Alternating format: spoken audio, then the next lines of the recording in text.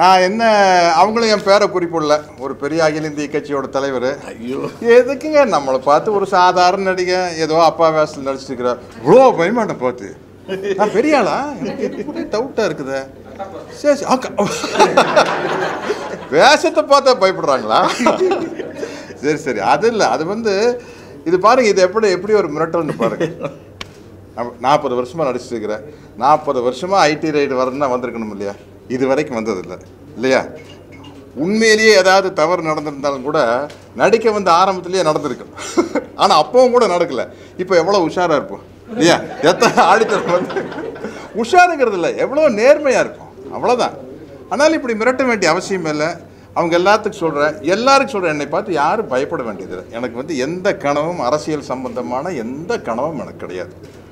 தமிழர்களுக்கு ஏன் தமிழர்கள்னு கூட வேண்டாம். தமிழ்நாட்டில் வாழும் மக்களுக்கு ஏதாவது பிரச்சனை வந்தால் குரல் கொடுக்க வேண்டியது என்னுடைய கடமையாக நினச்சி நான் குரல் கொடுக்குறேன். அவ்வளோதான் நான் முன்னாடி நின்று இந்த சுண்ட வேண்டிய அவசியம் எனக்கு இல்லை. எனக்கு வேண்டாம். எனக்கு எந்த எந்த எதிர்கால திட்டம் என்கிட்ட கிடையாது. இந்த மாதிரி பிரச்சனைகள் நடக்கல. ஏன்னா என்னை விட சிறந்த தலைவர்கள் இருக்கிறாங்க. அரசியல்லையே வந்து நான் எல்லா கட்சி தலைவர்களையும் சொல்கிறேன் எல்லாருமே களத்தில் இறங்கி போராடுறவங்க. நிச்சயமாக ஒரு நடிகன் அந்த அளவுக்கு இறங்கி போராட முடியாது. நான் அவனுடைய மனநிலை என்னன்னு எனக்கு தெரியும் ஒரு நடிகனுடைய மனநிலை என்னன்னு நாற்பது வருஷமாக நடிச்சிருக்கிறேன் எனக்கு தெரியும். நான் இங்கே காமெடியாக பேச விரும்புகிறேன் அதனால தான் என்னென்னு எனக்கு தெரியும். அப்படி போராட முடியாது. அப்படி எங்கேயாச்சும் நிற்கணும்னா பாருங்கள் பாரதி ராஜா சார் இருக்கார் செல்வமணி சார் இருக்கார் ஒரு பெப்சிக்கு ஒரு தொழிற்சங்க தலைவராக இருக்கார் செல்வமணி சார் இப்போ நான் வந்து இவங்க பின்னாடி நிற்க தான் ஆசைப்படணுடைய முன்னாடி நிற்க ஆசைப்படலை. ஆசைப்படல அதுக்கான தகுதியும் எனக்கு இல்லை. ஒரு பிரபலமான நடிகனாக இருக்கிறதுக்காக அந்த தகுதி இருக்குன்னு நினச்சிடாதீங்க. என் தகுதி என்னன்னு எனக்கு தெரியும். எனக்கு இந்த மாதிரி உண்மையான களப்போராளிகளுக்கு பின்னால் நிற்கத்தான் நான் ஆசைப்படுறேன். அதுவே அது அந்த கடமையை செய்தாலே போதும்னு நினைக்கிறேன். அதனால் வந்து ஒரு மாபெரும் தலைவராக இருக்கிறவங்க இந்த அப்பா வேஷத்தில் நடிக்கிற சத்யராஜ் பார்த்து பயப்பட வேண்டாம்னு சொல்லியிருக்கிறேன்.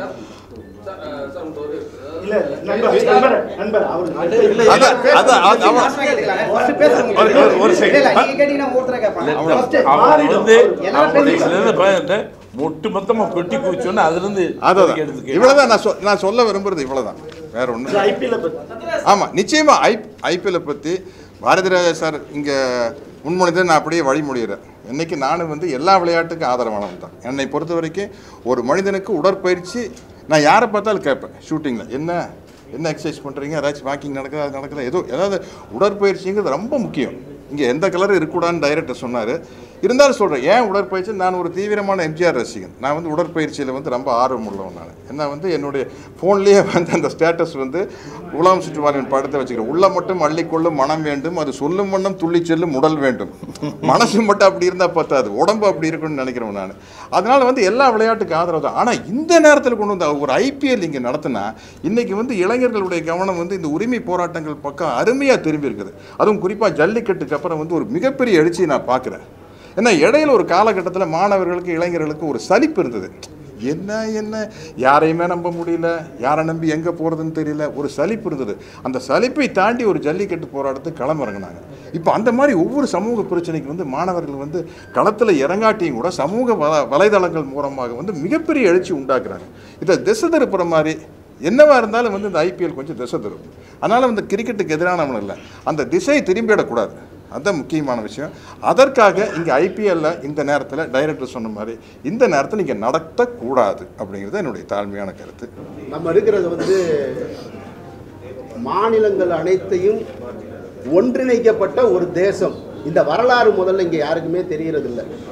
ஏன்னா நீண்ட காலமாக கிட்டத்தட்ட ஆயிரத்தி தொள்ளாயிரத்தி நாற்பத்தி ஏழுக்கு பின்னாடியே நம்ம எல்லாரும் என்ன சொல்லியிருக்காங்கன்னா இந்தியா என்ற தேசம் இந்தியா என்ற தேசத்தில் வந்து நம்ம வந்து சுதந்திரத்தை பெற்று வெள்ளையனிடம் வந்து போராடி சுதந்திரத்தை பெற்ற இந்தியா என்ற தேசம்னு தேசப்பற்ற ஒன்றை நமக்கு உள்ள ஊட்டியிருக்காங்க.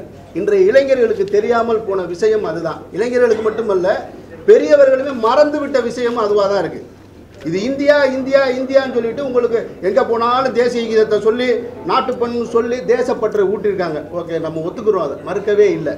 ஆனால் இந்த தேசத்துக்குன்னு ஒரு அரசியலமைப்பு சட்டம் இருக்குது ஐபிசி சட்டம் இருக்குது இந்த சட்டம் என்ன சொல்லுது? ஒரு தனி மனிதன் வரம்பு மீறும் போது அவனை நீ கைது செய்யலாம் அப்படின்னு சொல்லுது.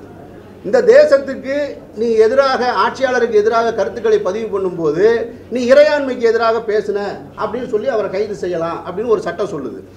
ஒரு மாநில முதல்வராக இருந்தாலும் ஊழல் வழக்குலையோ அல்லது வேறு பிற வழக்குகளையோ ஈடுபட்டால் கைது செய்யலாம் அப்படின்னு சட்டம் சொல்லுது. இது இந்த சட்டங்கள் எல்லாம் உ- உயர்நீதிமன்றம் கிளை மன்றங்கள் உயர்நீதிமன்றம் உச்ச நீதிமன்றம் வரைக்கும் இறுதியாக இருக்கிறது உச்ச நீதிமன்றம் தான் இந்த தீர்ப்பு. ஒரு உச்ச நீதிமன்றம் சொன்ன தீர்ப்பை இன்றைக்கு மதிக்காமல் இருக்கிறது ஒரு மத்திய அரசு. அப்போ உச்ச நீதிமன்றத்தின் தீர்ப்பை ஒரு அரசு மத்திய அரசு மதிக்கலைன்னா அதுக்கு ஏதாவது சட்டம் இருக்கா? இது என்னைக்காவது யாராவது கேட்டிருக்கீங்களா? அப்போ ஒரு உச்ச நீதிமன்றத்தின் தீர்ப்பை ஒரு அரசு மத்திய அரசு மதிக்கலைன்னா இறையாண்மைக்கு எதிராக இங்கே செயல்பட்டுக்கிட்டு இருக்கிறது ஒரு மத்திய அரசு தான் செயல்பட்டுக்கிட்டு இருக்கு. யாரும் இப்போ இப்ப தேச துரோகியா இருக்கா? இந்த தேசத்தின் சட்டத்தை மதிக்காம இருக்கிறது யாரு? ஒரு மத்திய அரசு மதிக்காம இருக்கு. ஒரு மாநில அரசு அதை செயல்படுத்த முடியாமல் இருக்கு. இதுதான் இங்க இருக்க மு- முக்கியமான சிக்கல். காவிரி மேலாண்மை வாரியம் கிட்டத்தட்ட இருபத்தி எட்டு ஆண்டுகளாக முடிவுக்கு கொண்டு வரப்பட்டு வழக்கை இனிமே நீங்க ரெண்டு தரப்பும் இங்க வழக்கு நீங்க போட முடியாது. இதுவே இறுதி தீர்ப்பு. நதிகள் அனைத்துமே அனைவருக்கும் பொதுவானது. தேசிய மக்கள் அனைவருக்கும்னு சொன்னதுக்கு பின்னாடி அதை இம்ப்ளிமெண்ட் பண்ண முடியாத ஒரு மத்திய அரசு அதை ஏன்னு கேட்க முடியாத ஒரு கேவலமான மாநில அரசாகவும் ஊடகங்களாகவும் நாமளும் நீங்களும் எல்லா மக்களுமா இருக்கும். எல்லாருமா இருக்கும். யாருனாலையும் கேட்க முடியல. எல்லாரும் அப்படியே உட்காந்துருக்கோம் சரி இதெல்லாம் நடந்து முடிஞ்சிருச்சு. இதை நடந்து முடிஞ்சிருச்சுன்னு சொன்னால் இப்போ அவங்க அவங்க சொல்லியிருக்க காரணம் என்ன சொல்லியிருக்காங்க? ஒரு தேர்தல் இருக்குது கர்நாடகாவில் ஒரு தேர்தல் இருக்குது அங்கே வந்து தேர்தல் காலகட்டத்தில் இதை பற்றி நம்ம பேசணும்னு சொன்னால் அங்கே வந்து சட்ட ஒழுங்கு கெட்டு போயிடும் தண்ணி கொடுக்க சொன்னவன் கொடுக்க மாட்டேன்னு சொன்னவனுக்கு சட்ட ஒழுங்கு கெட்டுருமா? அப்போ பசியோட பெற காத்திருக்கவன் இந்த தமிழ்நாட்டில் சட்ட ஒழுங்கு கெடாது.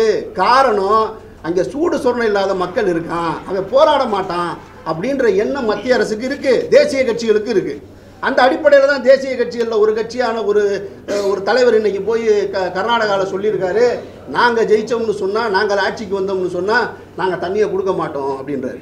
இன்னொரு தேசிய கட்சி இங்கேருந்து என்ன சொல்கிறாங்க இல்லை ரெண்டு மாநிலத்திலையும் நாங்கள் ஜெயித்தோம்னா தண்ணி கொண்டு வருவோன்றாங்க. இது எவ்வளவு கேவலமான ஒரு அபத்தமான ஒரு வாதம்னு பாருங்களேன். கர்நாடகாவில் ஒரு அரசு இருக்குமா?